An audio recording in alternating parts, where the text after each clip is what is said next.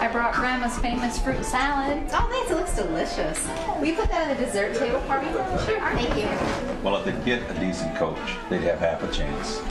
Even if they signed Newman Lawson and the top 10 players in the league, they'd still figure out a way to lose with chucking hammers and managers. What's this, Grandma? Hey, Grandma's famous fruit salad. Hey, you. Our things Um, I remember when you were about that big. Say, where's the meat tray? Yo! Watch me.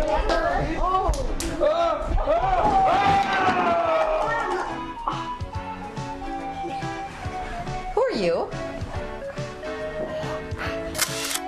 You wouldn't expect your charm to get you into a stranger's family reunion. So why would you expect it to get you into heaven?